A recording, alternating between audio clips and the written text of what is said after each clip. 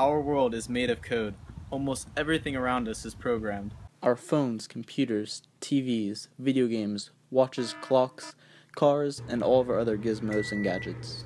We are absolutely surrounded by code. But the funny thing is, almost nobody knows how to program. So that's why I decided to learn.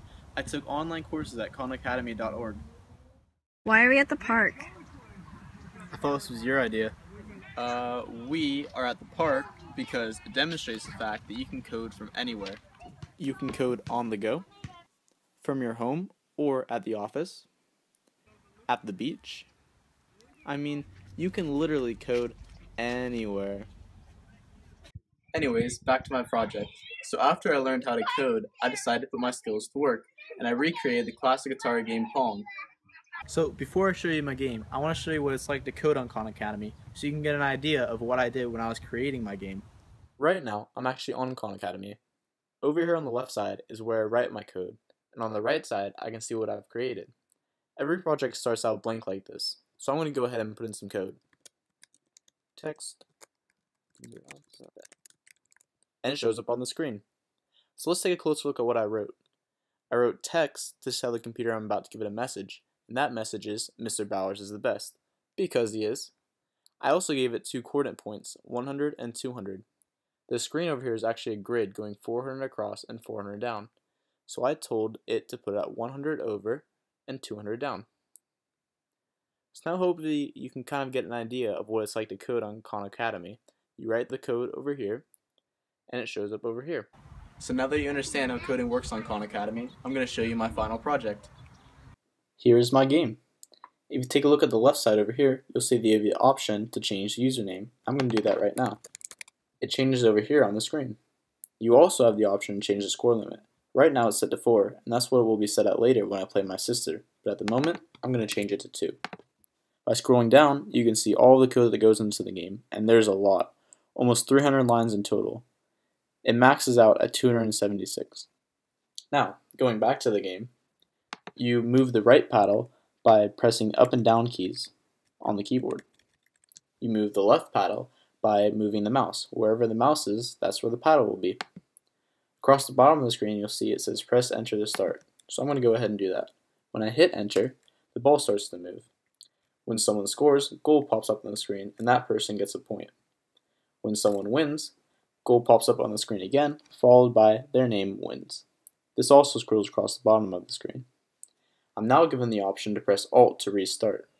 When I do that, it sets the game back to how it was at the beginning, so you can play another match.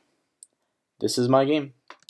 So I have my fabulous sister Katie here with me today, and she is going to play against me in my game. And we are going to be playing for the last lemon cake. So winner gets it, loser gets to watch and acne. All right, here we go. Are you ready? I think she is.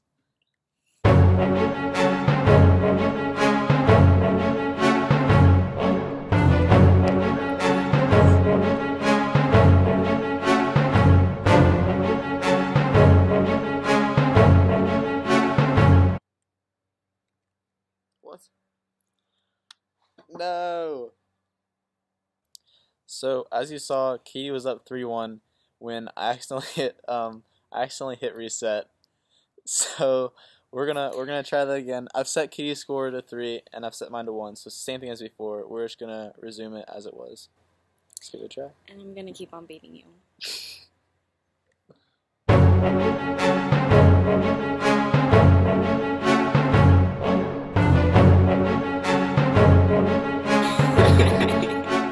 I will win. I'm so stressed out. Whoa. Yes. What? No. Whoa! What? In your face. No, we can't count that. We definitely can't. I win. I'm really happy right now. No, we're not counting that. Why? Cause So I won, and I get to eat the last lemon bite, and you have to watch.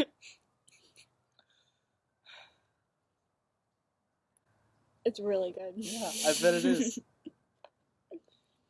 So the fact that I lost the game was pretty pathetic, considering that I had rigged it to give myself a major advantage.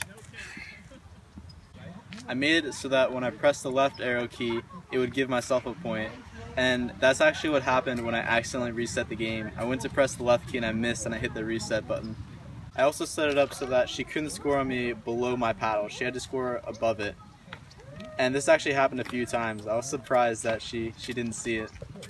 Anyways, now that I know the fundamentals of programming, I can apply this to tons of other things, like web pages or maybe even an iPhone app. Who knows, the possibilities are endless. Huge thanks to my sister Katie for all of her help filming, and another huge thanks to Khan Academy for their awesome programming course. It was totally free. If you want to sign up, there's a link in the description down below. If you click it, then it'll say that I referred you. Also, if you want to play the game I made, there's another link in the description down below. Thanks for watching.